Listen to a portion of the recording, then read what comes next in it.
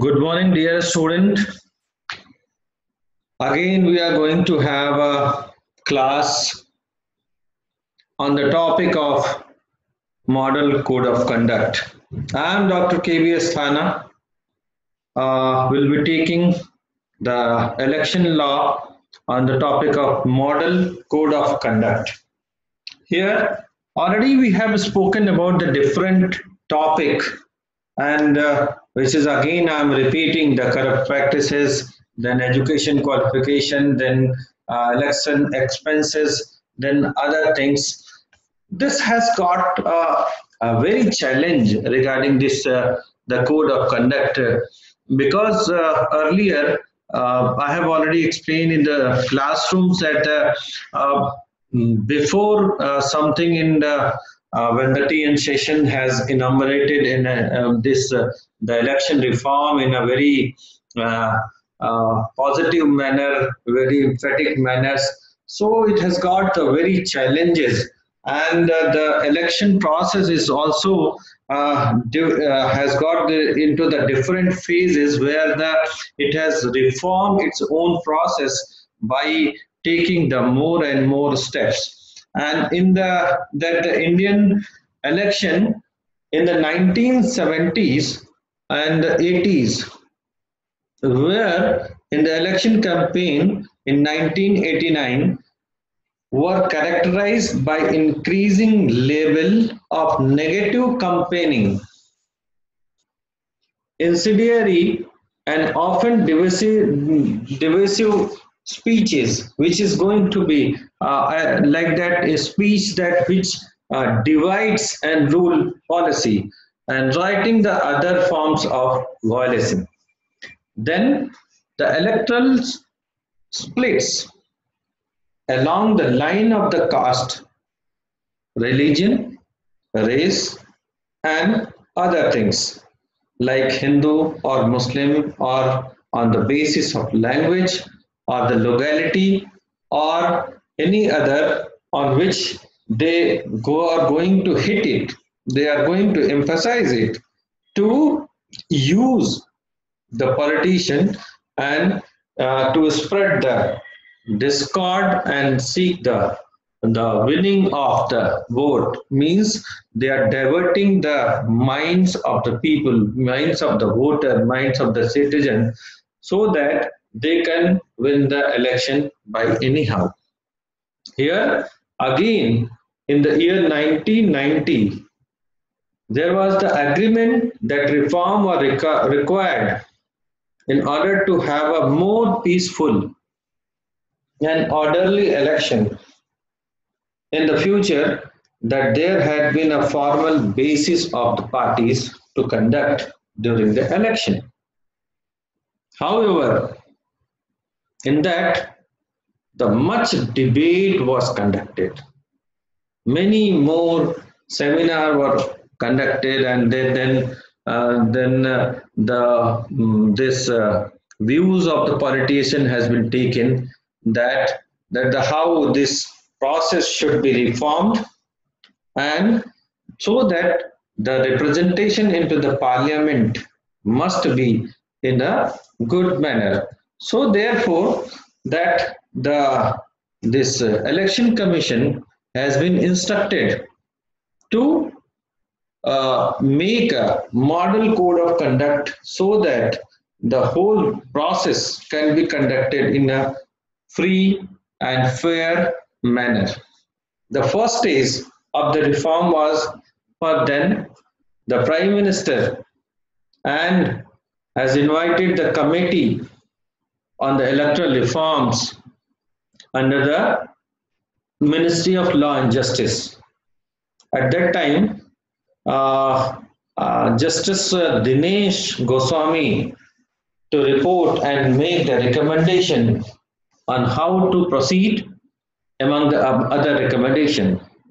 The report endorsed first thing the qualification of the candidate who campaigned on a caste religious lines or instigated the communal then or in the during elections.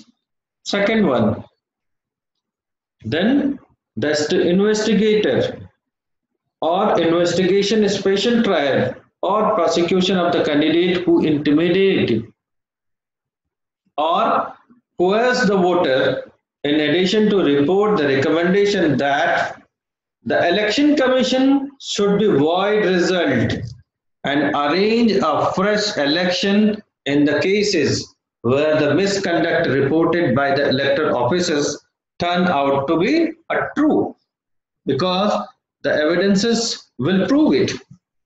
Then further, how the committee has also opined the statutory backing should also be given because this is not only that important that the, we have made the model code of conduct or the recommendation has been given because only recommendation cannot be the fruitful to implement the recommendation guidelines.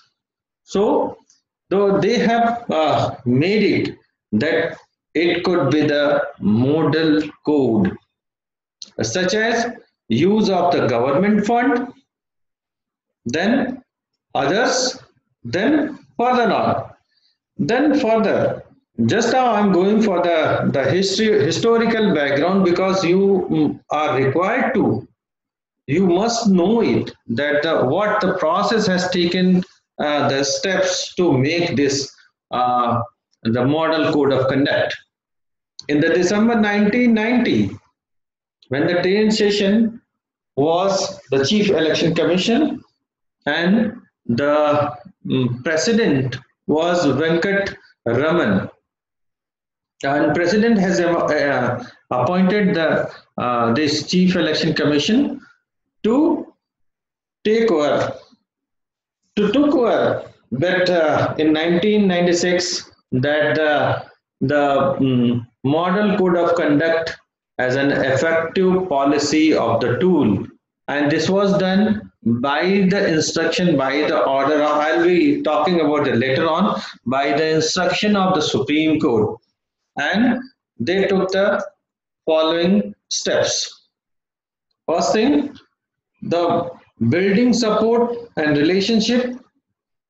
Then recruiting and managing the personals then compliance by the developing observers then in that what could be the um, this uh, effect of here?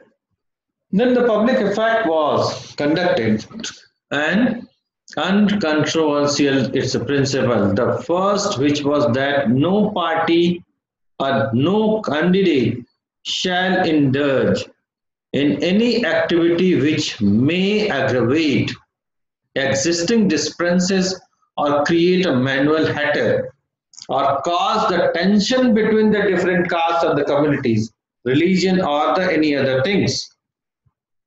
Although it is initially succeeded in the mitigating some of the political behavior, the more divisive and the candidate found in a different way, they will be treated according to the land of the law. Then further, now the, the code of conduct has become uh, very good. Uh, this in this you can note down one case KG Uday Kumar versus state. In that the already discussed about the code of conduct. Now we should be doing upon the how the code of conduct model code of conduct should be uh, that uh, uh, here the election commission has given right so in that case the speeches the polling day or the booth or any other things uh, should be discussed accordingly right? Then it has got into the different uh, mm, the way. The first thing the general conduct. Here the no party means or the candidate shall include in any activity which may aggravate the existing difference or create the manual hatter or cause tension between the different castes and communities. So they will be treated in the different way. Or criticism of the other political parties when made shall be confined to their policies and programs, past record and other things. So this should be the uh, they should be uh, banned too. Then in other cases also there shall be no appeal to caste or the communal feeling or the securing of vote. Is there a this type of this feeling, this appeal should not be there like uh, uh, by the church, by the mosque, by the temples, by the any others. Then another, all parties and candidates shall avoid the scrupulously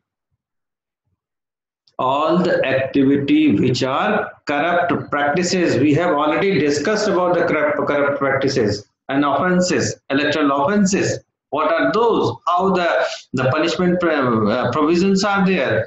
How the trials are there? How the, uh, the punishment may be imposed? So, this type of things are there. Then the further right of every individual for peaceful and undisturbed home life shall be respected. No political party or the candidate shall permit its follower to make use of any individual lands or any others building, compound, wall without the permission for erecting the flagstaff. Then political parties and the candidates shall also ensure that the, their supporters do not create the obstruction to anyone. Do not disturb to any other.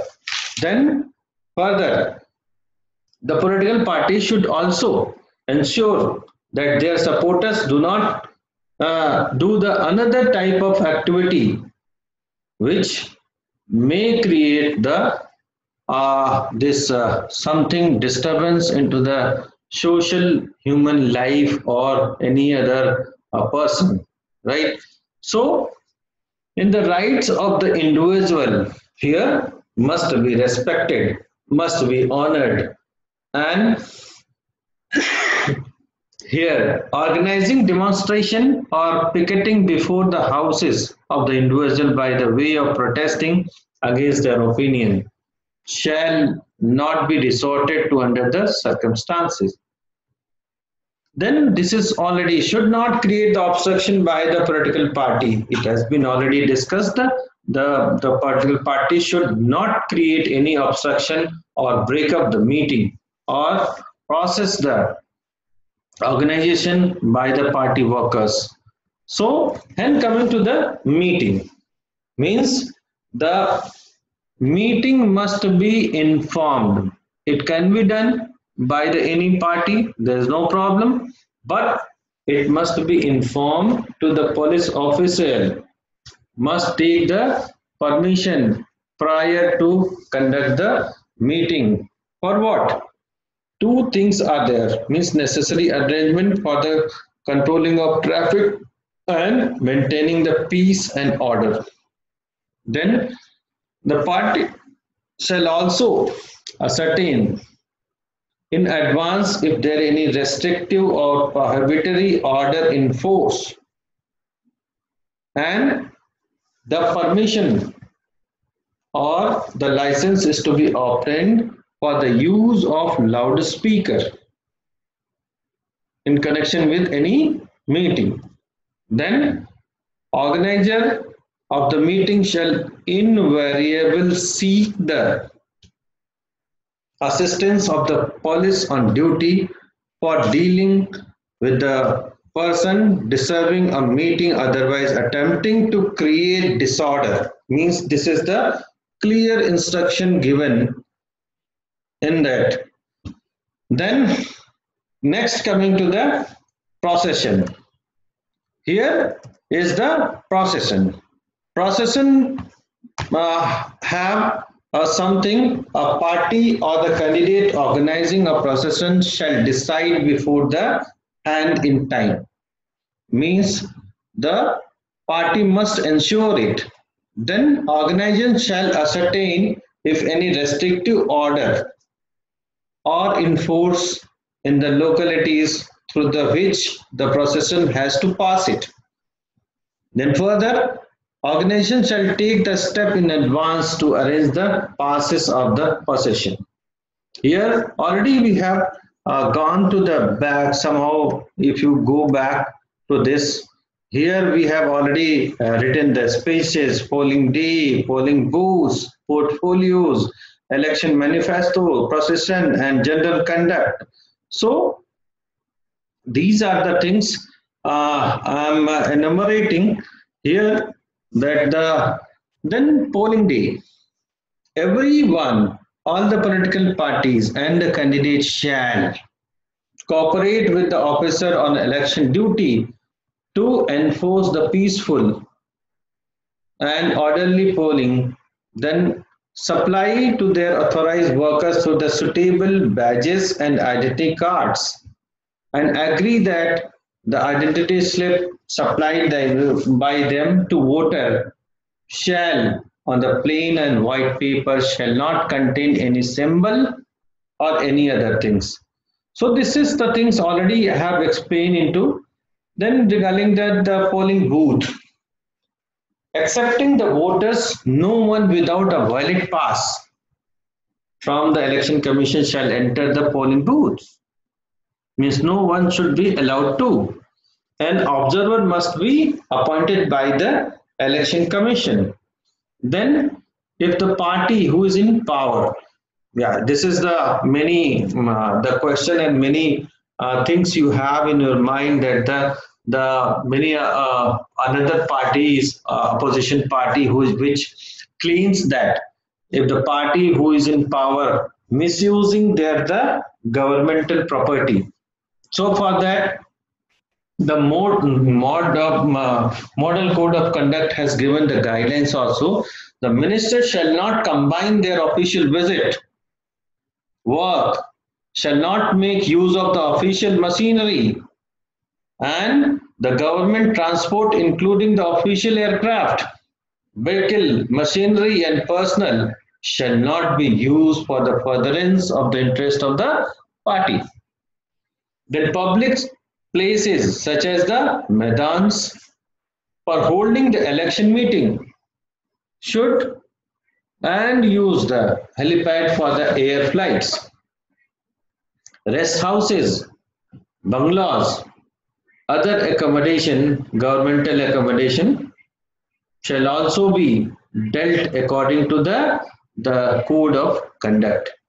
Then issue of the advertisement at the cost of the public exchequer in newspaper and other media and misuse of the official mass media during the election period that is the coverage of the political news publicity regarding the achievements with the view of the party shall be avoided then ministers of the center of the state shall not enter any polling station or the place of counting except in their capacity as a candidate or voter or maybe the authorized agent.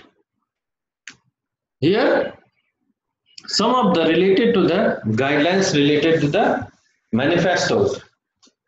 This is the very landmark judgment given by the Supreme Court. You can note down it. Subramaniam Balaji. Subramaniam Balaji versus Government of Tamil Nadu and others. Citation is SLPC 21455 of 2008. In that, the Supreme Court has given the guidelines regarding the framing of the manifesto of the political parties they must have the principal guidelines. So it is also mentioned into, right? And there is a provision that the uh, election commission has also issued the order is article 324 of the constitution which mandate the commission to hold a free and fair election into the country or the state. Here. Then this is the uh, mm, some of the uh, the it is the some directive principle of the state policy also which constitution enjoy upon the state to frame the various welfare measures of the citizens so this is also be done before the the code of model code of conduct is being announced so this is the something which i have related to the uh, model code of conduct. Secondly, you can note down one of the case uh, Sa Durai Swami versus Stalin. This has uh, this is also a, a landmark case. Then the question arises: Is model code of conduct legally binding or not?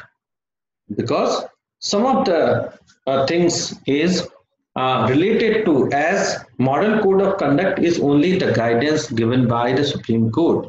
So this will be uh, something related to those not, but again, this will also implement the, the IPC 1860, CRPC 1973, then Representation of People's Act 1951, and then further then election commission has again argued against the making of MCC legal binding, stating that.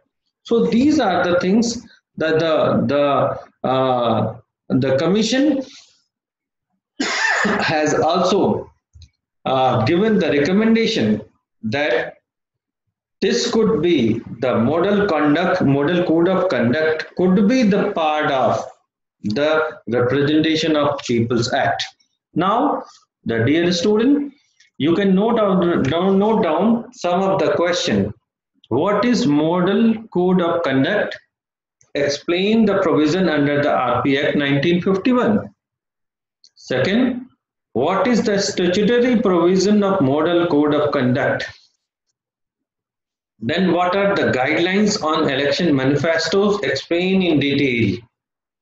And describe the guidelines given by the Election Commission of India regarding a party or the candidate organizing the procession.